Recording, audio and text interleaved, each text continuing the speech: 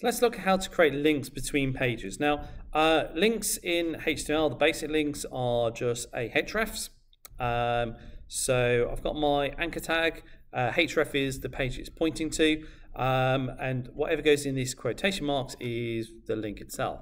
Now, I want to link to this um, template here, but I want it to go via the um, Flask web routes. That way I'm guaranteed that all the stuff I need to happen will have happened and the rendering will have happened and all that lovely stuff. So how do I ensure that it works? Well, I need some special code for Flask. So because I want to run some Flask code, I'm using these curly brackets again. No, it's the exact same as here. So that's kind of Flask Q to do its job. Um, and I stop it here, so same idea. Then I've got a special command called URL for, which is going to create the correct URL for this endpoint second page. Now this endpoint second page refers to um, this here. So it's going to find this route and obviously render it correctly. So I'm going to press save on that one and let's just see if that works.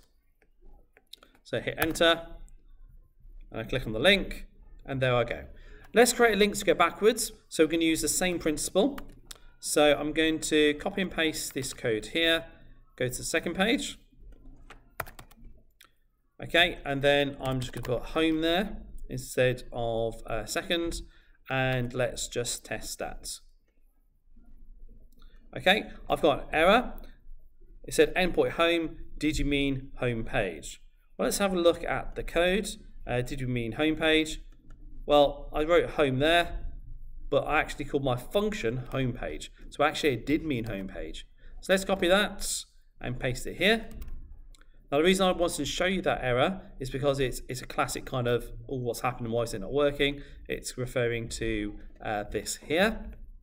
So let's save it. Let's test it. Boom. And there we go. Now I can go to and from the two pages very, very easily.